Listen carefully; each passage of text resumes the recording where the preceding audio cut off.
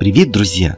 В России вслед за возобновлением производства танков Т-80, о которых мы ранее рассказывали, возродят и производство газотурбинных двигателей ГТД-1250. Пока завод «Калужский двигатель» занимается восстановлением двигателей танков Т-80, но уже начинается подготовка к выпуску новых двигателей для танков. Ведущий Алексей Егоров побывал на заводе и показал процесс создания деталей для новых двигателей.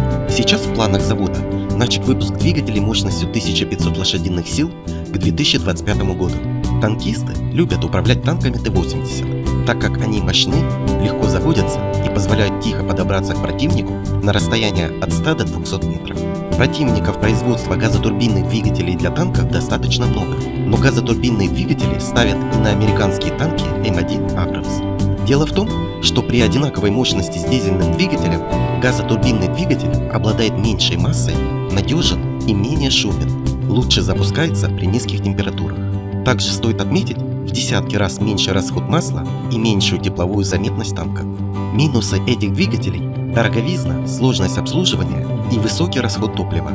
По результатам испытаний у танка Т-80 расход топлива был больше на 60-80%, чем у танков Т-64 и Т-72. С момента появления первых танков Т-80 в 1976 году на них ставились двигатели ГТД-1000Т мощностью 1000 лошадиных сил.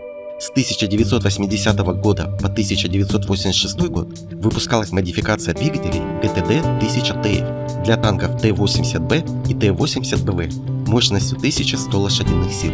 С 1986 года пошла в серию модификация ГТД-1250 для танков Т-80У мощностью 1250 лошадиных сил.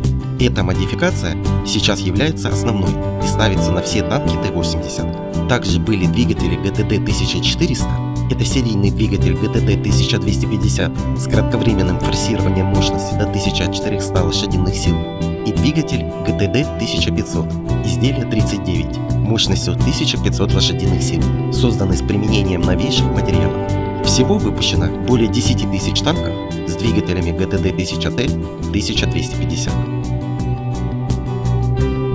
На этом на сегодня все. Друзья, спасибо за просмотр и помощь каналу. Мы осветим все.